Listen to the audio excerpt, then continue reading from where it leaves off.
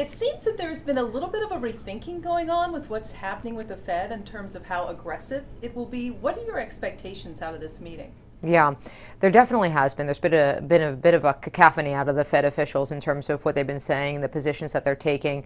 My expectation is that they're still going to end quantitative easing uh, at the next meeting, and I think that there will probably be more color around the direction which they're ultimately going to take the first Fed funds rate. But I think that they're going to continue with the verbiage that it will be data dependent.